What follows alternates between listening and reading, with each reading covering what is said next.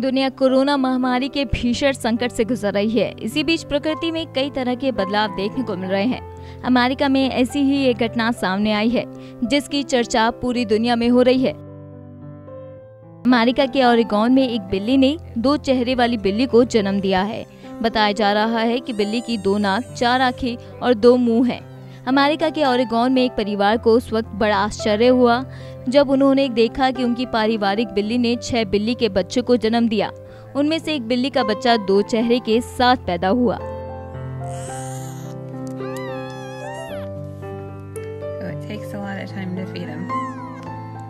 लोगों में इस बिल्ली के बच्चे को लेकर बहुत क्रेज है। वहीं फैमिली ने बिल्ली के बच्चे का नाम बिस्किट्स एंड ग्रेवी रखा है। इस प्रकार की बिल्ली को जानूस कैट्स कहा जाता है। दुर्लभ बिल्ली का जन्म दो आँखों, दो नाक और दो मुँह के साथ हुआ था। इसने अपनी खासियत के चलते दुनिया का ध्यान अपनी ओर खींच लिया। इन बिल्लियों के मालिक ने बताया, मेरी पत्नी उन्हें देखने के लिए बाहर गई और पाँच समाने बिल्ली के बच्चे और एक दो चेहरों के साथ पाया। हम बहुत हैरान थे।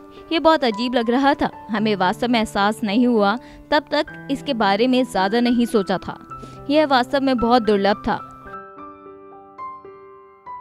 परिवार ने आगे कहा, बिल्ली एक मुँह से म्याओ म्याओ करने में समक्ष है और दूसरे का उपयोग भोजन करने के लिए करती है। बीजे किंग ने अपने बच्चों द्वारा प्रेरित किए जाने के बाद इस खास बिल्ली की डिटेल्स ऑनलाइन शेयर की, तब से बिस्किट और ग्रेवी सोशल मीडिया पर वायरल हो गए हैं।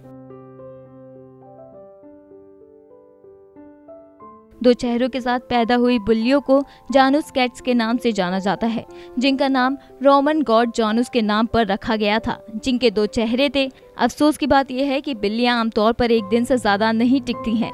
हालाँकि इस तरह के दुर्लभ बिल्ली के बच्चे लंबे समय तक जीवित नहीं रह पाते।